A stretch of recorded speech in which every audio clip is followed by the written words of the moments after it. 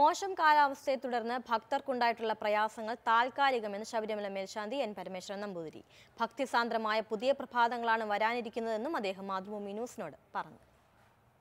വളരെ സന്തോഷമായിട്ടും സുഗമമായിട്ടുള്ള തീർത്ഥാടനം നടക്കുന്ന സമ്പൽ സമൃദ്ധമായ ഒരു മണ്ഡല മകരമഹോത്സവമായിരിക്കും നടക്കുന്നത്. എല്ലാ അയ്യപ്പൻ അനുഗ്രഹിക്കും. ഈ ഇതൊക്കെ ഈ ദോഷങ്ങളൊക്കെ മാറും. ഇപ്പോഴുള്ള ഈ ദുരന്തങ്ങളെ കാരണം ലോകത്തെമ്പാടുമുള്ള എല്ലാ മതവിഭാഗത്തിൽപ്പെട്ട ജനങ്ങളും അയ്യപ്പനെ ശരണം പ്രാപിച്ചിരിക്കുക അതുകൊണ്ട് ഏതാനും ദിവസങ്ങൾക്ക് ഇതെല്ലാം മാറും. ഒരു നല്ല പ്രഭാതം ഉണ്ടാവും.